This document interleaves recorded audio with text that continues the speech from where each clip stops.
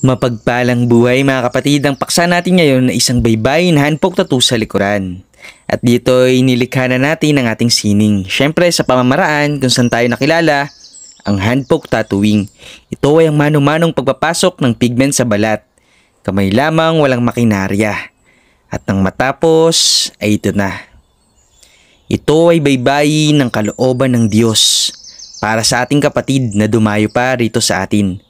Maraming salamat.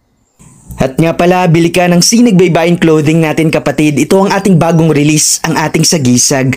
Ang bungo ay hindi masama. Sa halip ito ay sagisag ng pagpapakumbaba. Kumbaga ay walang saysay ang pagmamataas o pagyayabang.